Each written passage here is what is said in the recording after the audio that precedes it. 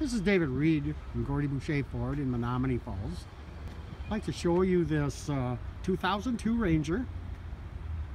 It is a rear wheel drive, beautiful condition, only 89,000 miles on it. It is a V6 3 liter, so it'll have very good power for you.